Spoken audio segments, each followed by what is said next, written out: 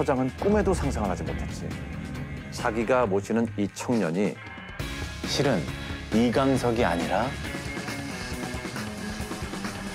가짜라는 거. 아니야? 이강석이 아니야? 누구야? 그럼?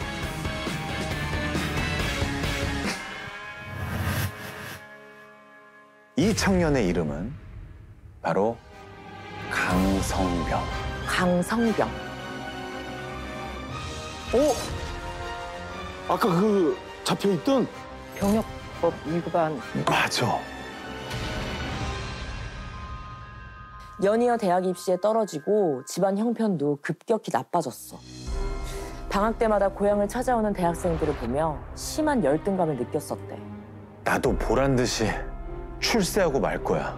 그렇게 집을 나간 뒤로 소식이 뚝 끊겼어. 그런 그가 느닷없이 이강석 행세를 하면서 경주에 나타난 거야. 강성병은 왜 이강석을 사칭한 걸까? 그러니까 무슨 근거로? 왜? 집에서도 버린 자식으로 내보니까 뛰쳐나와가지고 그리고 또들이 생활하고 있었어요. 그러다가 이강석이가 됐다는 얘기를 하고 보고하면서 이 관리들이 이강석이라면 부들부들 떨 거 아니냐.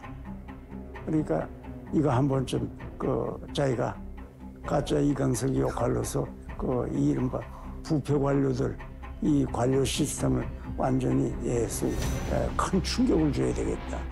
아니 그 어, 이해는 되는데 와 아니 간이 정말 복수하려고 했었던 것 도 있었을 것 같은데요. 음. 다 떨어뜨렸잖아요, 자기를. 어. 그러니까 이 시스템한테 복수하려고. 어. 그런데 이렇게 가짜 행세를 해. 금방 탄로나지 않았을까? 나는 너무 금방 너가 나인 척을 어떻게 해? 못하지. 아무래도 뭐 좀 수상한 점이 보이겠지 금방. 강성병은 평소 이런 말을 자주 들었다고 해. 어우, 자네 그, 그 이강석이야. 와, 이거야. 진짜 닮았네. 음. 정말 닮았는지 직접 비교해봐. 이게 이강석의 모습이야. 아 그리고 강성병의 모습이야. 어때? 닮은 것 같아? 요 입 쪽이 좀 닮으신 것 같아요. 코랑.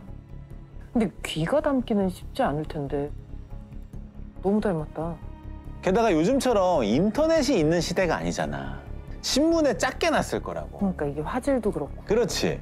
그리고 강성병은 고등학교 때 연극을 했던 경험도 있었대. 어, 연기도 잘하시겠구나. 음.